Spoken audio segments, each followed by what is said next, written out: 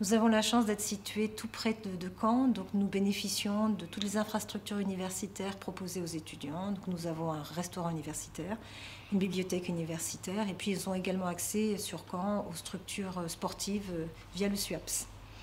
Nous sommes un petit campus, nous avons uniquement 450 étudiants, ce qui fait que nous sommes vraiment un campus à taille humaine. La formation est assurée donc par des enseignants qui sont soit titulaires, donc enseignants ou enseignants-chercheurs, donc ayant une activité de recherche, mais également assurés par des vacataires, donc ce sont des professionnels qui sont spécialistes en fait du domaine qu'ils vont venir enseigner. Donc on a cette chance non de pouvoir proposer en fait un enseignement euh, vraiment euh, spécialisé dans les, dans les différentes matières. Nous avons dans notre département deux formations, donc le, BUT, Bachelor universitaire de technologie en informatique, et donc une licence pro, audit et sécurité des réseaux et des systèmes d'information. En ce qui concerne le BUT, nous avons donc 84 places, donc à destination de bacs généraux qui auront choisi des spécialités scientifiques et puis des bacs technologiques, essentiellement des STI 2D. Ce qui va changer avec le BUT, puisque jusqu'à maintenant nous avions un DUT informatique, à partir de la rentrée 2021, euh, nous passons au BUT, c'est que cette formation bachelor universitaire de technologie, cette formation en trois ans alors que le DUT était en deux ans, va permettre une plus grande spécialisation de nos étudiants de façon à ce que ceux qui souhaitent ne pas poursuivre d'études euh, soient directement euh, formés pour entrer dans le monde professionnel.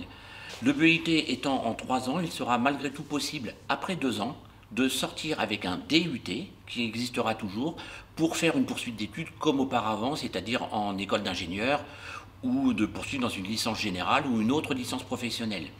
Ceux qui resteront, d'ailleurs il est aussi possible euh, d'intégrer le BUT après une année ou après deux années.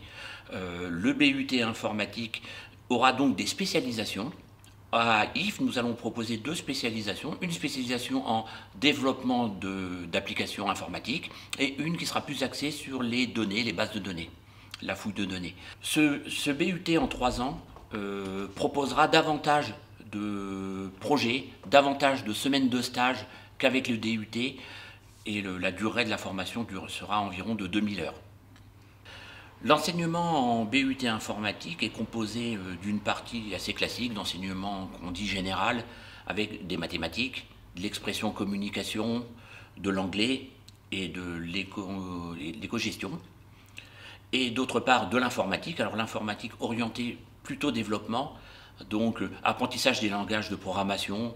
Alors euh, pour ceux qui connaissent déjà, on va faire du C, du Java, de la programmation web, de la programmation pour téléphone mobile, Android, ce qu'on faisait déjà en DUT, mais en allant un petit peu plus loin, euh, l'enseignement des bases de données, puisque ça deviendra aussi une spécialisation possible en troisième année, et nous enseignons aussi l'architecture et les réseaux informatiques, euh, tout comme les, systèmes d'exploitation.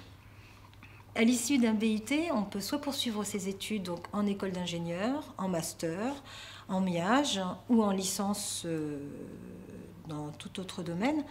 Mais bien sûr, on peut aussi aller travailler. Donc les différents métiers proposés après un BUT informatique sont souvent concepteurs-développeurs dans, une entreprise ou également administrateur web, administrateur de base de données, administrateur système, réseau.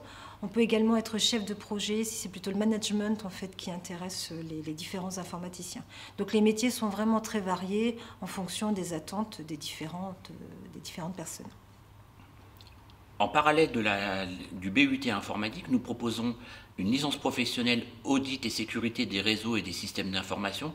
Cette licence professionnelle, donc troisième année, euh, s'adresse à des titulaires soit d'anciens DUT, soit de BUT qui sortiraient au bout de deux ans, que ce soit des BUT informatiques, BUT réseau et télécom, BUT génie électrique ou statistique et traitement informatique des données, et on peut avoir aussi euh, des BTS, alors principalement des BTS informatiques, donc soit les BTS SIO, quelle que soit la spécialité, ou ça peut être des BTS SNIR. Cette licence professionnelle est spécialisée dans euh, la sécurité des infrastructures informatiques. Donc nous avons beaucoup de cours de réseau. Euh, la plupart des enseignements sont proposés par des professionnels même si euh, certains, euh, cours plus classiques comme les mathématiques, la crypto, etc., sont proposés par, euh, par nos enseignants titulaires du département. Cette formation s'effectue en apprentissage ou en contrat de professionnalisation, c'est-à-dire que tous les étudiants sont en alternance. Une alternance en général, on va dire de deux semaines, deux semaines, deux semaines en entreprise et deux semaines en centre de formation. En général, les titulaires d'une licence professionnelle euh, s'insèrent dans le milieu professionnel euh, juste après la licence professionnelle, même si certains étudiants décident malgré tout de poursuivre un master.